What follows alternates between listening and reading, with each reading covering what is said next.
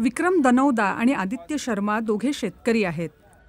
आणि इतर हजारो शेतकऱ्यांच्या बरोबर शेतकरी आंदोलनात ते सहभागी झालेत. कब से हो यहाँ पर आप? हम अट्ठाईस तारीख से हैं जी। अब किसान के लिए किसान के पुत्र हैं। हम जीरी नरमा बोते हैं। जो ये सरकार है नहीं अपना हक के लिए बैठे हैं जी। अपने हक के लिए आप बैठे हो और आप? दनौदा से हो हाँ? दनौदा ये हरियाणा में है दनौदा जी। अच्छा आप लोग यहाँ ट्रैक्टर चला के आए हो दोनों?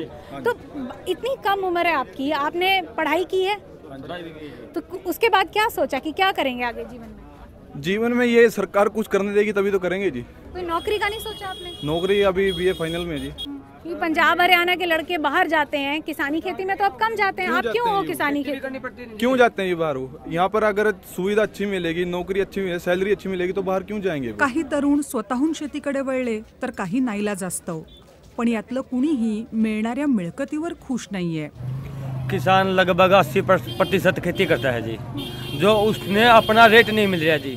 एक किसान मंडी में पंद्रह बीस दिन बैठे रहा उसकी जीरी नहीं बिकती जी। तो सरकार तो यही कह रही है कि अब वो नई मार्केट आपको देगी जहाँ पे जाके आप बेच पाए मार्केट ही नहीं की सरकार है जी। ये ये लेन देन खरीद नहीं जी। किसान क्या करेगा। इतनी नीतियाँ बनाई है। इससे बता दो वो क्या फ़ायदा हुआ है। ये कह रहे हैं पकोड़े तड़ो बेरोजगारी आणि शेतीविषयक कायदे यामुळे या तरुणांचा सरकारवरचा विश्वास उडून गेलाय. गर्दीत कोरोना संक्रमणाची भीती आहे याची आठवण करून दिली तर ते निवडणुकांच्या रॅलीकडे बोट दाखवतात ਦੇਖੋ ਜੀ ਹੱਕ ਹਮੇ ਮਿਲੇ तो ठीक है नहीं जी फिर हक ਤੁਹਾਨੂੰ हरियाणी पंजाबी ਨੂੰ ਲੈਣੇ ਆਵਾਂ ਜੀ पूरे जोर दे अगर जब मैं तीन वेरियल पर नहीं रुके तो दस मिनट का खेल है जी